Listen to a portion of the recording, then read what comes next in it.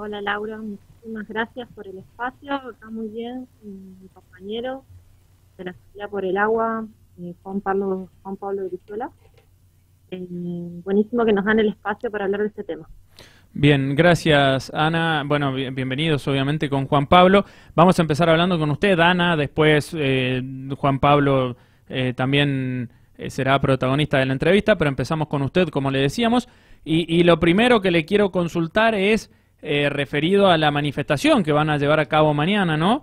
Eh, más allá de que, bueno, esta iniciativa del intendente de Malargüe, eh, Juan Manuel Ojeda, en la legislatura aparentemente no va a tener mucho aval por parte del gobierno al principio, pero no sé ustedes desde la Asamblea por el Agua cómo están viviendo este tema. Bueno, la 7722 es una, es una ley que salió del pueblo, ¿no? El pueblo la, está defendiendo gracias a, la presión que siempre hubo y las presentaciones frente a la justicia. Se declaró su constitucionalidad en el 2015 y, bueno, y por supuesto la seguimos defendiendo en la calle y con el pueblo. Bien. Eh, la en realidad nosotros sabíamos que estaba a punto de presentarla, no sabíamos si iba a ser el martes o el jueves. Se presentó de manera medio por atrás, no sé, tuvo problemas para presentarla. Eh, se cortó la conexión, de todas maneras alguien recibió medio de costadito la ley. Entran la puerta. Eh, sin embargo, nosotros tenemos leyes que están ahí por tratarse desde hace años, tracking y sigue ahí un tratamiento. Eh, entonces, bueno, desde este momento, desde la semana pasada ya nos declaramos en alerta y empezamos a, estar en esta vigilia en las redes y en los medios y invitando a la gente a que el miércoles nos hagamos presentes desde el lugar donde podamos cada uno. En Mendoza se van a concentrar los, los departamentos cercanos ahí en el kilómetro cero a las 6 de la tarde y bueno, y acá eh, estamos proponiendo que nos juntemos también en el kilómetro cero a las 6 de la tarde. Eh, obviamente, eh, la idea, claro está, es visibilizar esta situación y dejar en claro que ustedes se mantienen en más alerta que nunca y que si esto quisiese prosperar en la legislatura, ustedes van a estar, al igual que han estado en ocasiones anteriores, ¿no? Sí, por supuesto, defendiéndola, porque es una ley legítima y es para toda Mendoza. ¿Qué, siente usted particularmente cuando el intendente de Malargüe dice que em, la idea sería que sean delimitadas zonas de Malargüe, ¿no? Que, que esta ley 7722 quede exceptuada de aplicación en ciertos lugares, no en Malargüe por completo, sino en ciertos lugares y solo justamente en ese departamento, no, no en otros más de la provincia. No sé si te acordás que también eh, esto está pasando en no, eh, Ana, Ana, Ana, vamos, eh, eh, ¿usted tiene el teléfono cerca de la boca cuando está hablando ahora? Sí, ¿acá me escuchas mejor? Ahí se escucha diez veces mejor, ahí se escucha diez veces mejor porque la no, no, no se entendía lo que decía.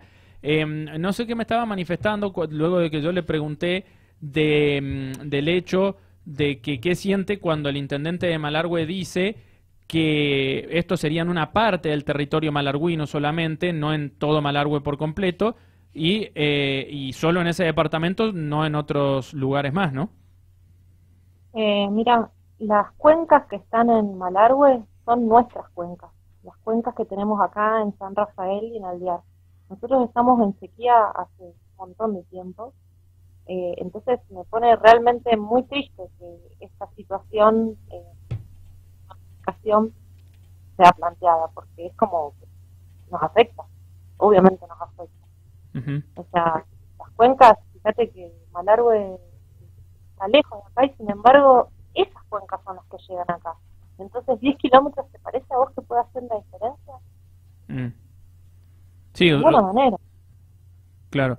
Usted lo que dice es que después se termina todo, o sea, que el agua es la misma para todos, en definitiva, eso es lo que sostienen los proyectos que esta persona pretende hacer son de mega minería, porque si quisiera hacer minería, la ley no prohíbe Entonces, la mega minería utiliza muchísima agua, agua que ya no tenemos. Entonces sí, me afecta, obviamente, me afecta lo que haga Malargue con él y, decide hacer con esa agua, eh, y afecta también las tierras de, la gente que está allá. Eh, además, el intendente no viene demostrando ser un intendente que, tiene con la gente. no, le confío ni un poquito a esa persona. Bien. vamos a cambiar la metodología de, de comunicación, Ana eh, ahí vamos a cortar y, ha quedado claro igual lo que ha dicho, pero como que por ahí se entrecorta un poco la comunicación, así que lo vamos a llamar, la vamos a llamar y si le parece hablamos con Juan Pablo Brizuela directamente, ¿sí? Bueno, dale. Bueno, gracias Ana, eh, ahí eh, nos comunicamos por privado de nuevo. Bueno, estamos eh, charlando precisamente con la señora Ana Feldman. Ella es eh, precisamente integrante de la Asamblea por el Agua. Y bueno, vamos a restablecer la comunicación telefónica con eh, Juan Pablo Brizuela. Él también es integrante de la Asamblea por el Agua. Y bueno, luego de haber presentado este proyecto eh, minero, el intendente de eh, Malargüe, eh, Ojeda, ellos están dando su opinión con respecto a la situación actual y a lo que ellos están defendiendo. Por eso vamos a intentar restablecer la comunicación telefónica con la persona mencionada.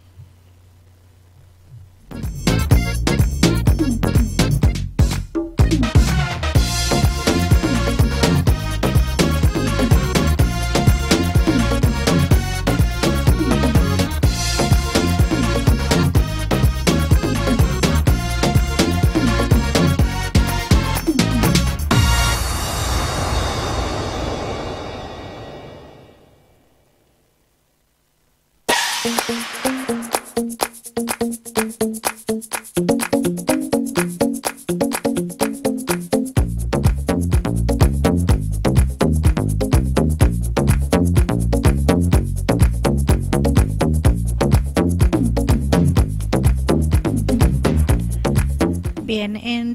Entablamos comunicación a partir de este momento con Juan Pablo Brizuela, también integrante de la Asamblea por el Agua. ¿Cómo estás, Juan Pablo? Joaquín, Laura te saludan. Bienvenido al aire de Dial Radio TV y Rivadavia San Rafael.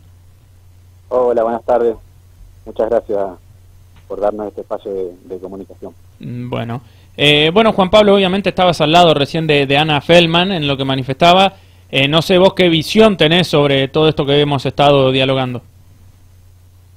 Eh, la visión es que, mm, que bueno, en Mendoza se puede hacer minería. De hecho, ya, ya hay proyectos aprobados, como Hierro de Indio, Potasio Río Colorado, y eh, lo que quieren hacer es aprobar proyectos de mega minería. Ese es el, gran problema. Mm porque la mega minería, como dijo Ana, eh, son proyectos que ocupan millones y millones de litros de agua y que eh, estos proyectos lo que usan son sustancias que justamente las 7722 son las que prohíbe, que son el cianuro, eh, el ácido sulfúrico, el mercurio, bueno, y sustancias así de, de, ese nivel de toxicidad. Por eso estamos tan tan preocupados. y bueno, y, y preocupados también porque hay una manipulación de la información, eh, porque justamente hablan esto de, minería en Malargüe, y en Malargüe ya, ya hay minería, hay proyectos aprobados de minería, entonces eh, realmente si quisieran trabajar con la minería lo estarían haciendo. El tema es este, que, quieren traer proyectos de mega minería, y, bueno, eso es un, es un, gran problema y un gran riesgo para, para toda la, la región. Bien. Eh, sí, ustedes, eh, digamos, van en línea con lo que, por ejemplo, ha manifestado en algún momento el intendente, el ex intendente, digo, perdón, de, de San Carlos y actual diputado Jorge Difonso, que ha dicho que, em, se lo dijo a Ojeda, justamente, al intendente de Malargüe, en un debate que tuvieron, que le decía que se empiezan por Malargüe y después se amplían hacia otros lugares, ¿no? Claro, exactamente. Eh, si, si fuera así, y esto se, aprobara, quedaría vía libre para que luego se pueda hacer en cualquier otro lugar. Sí, como que sienta, sienta precedente. Claro, exactamente, sienta precedente jurídico. Bien. Eh, entonces, bueno, es, una situación que, es, muy compleja y, y Mendoza este, estaba, el pueblo estaba bien, consciente con, con, lo que, con la defensa de la 7722, porque bueno, entiende eso, que entendemos eso, que está todo bien que hagamos minería, ¿sí? todos vivimos eh, a la, gracias a la minería en cierto punto, pero bueno, los proyectos de mega minería eh, son otra otra situación. Eh, y, bueno, eso es lo que no queremos. Tenemos los ejemplos muy cercanos en San Juan, en La Rioja.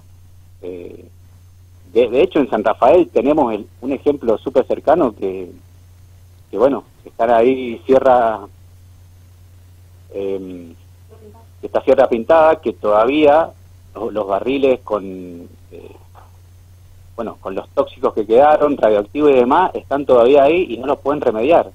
Hace 20 años que están ahí. Mm. Eh, digo, no, no, para no irnos tan lejos a San Juan ni, ni, a, La Rioja, ¿no? Eh, los últimos proyectos de, de, minería que se han hecho terminan siendo muy irresponsables y bueno, y, pueden causar eh, daños muy graves. lo que decía Ana de, la, de las cuencas, mm, San Rafael y, Alvear eh, eh, viven gracias a la cuenca Atuel Diamante, que es un gran río que pasa por debajo de los departamentos.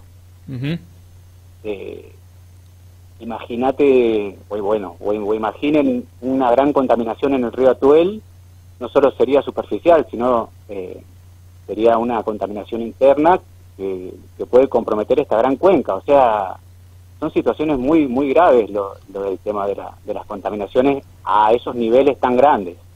Bien, bien, queda claro. Eh, Juan Pablo, bueno, invitación, recordemos, eh, eh, día, lugar, hora. es mañana, mañana miércoles, a las 18.30 en el kilómetro cero, acá en San Rafael, y en Mendoza a las 18.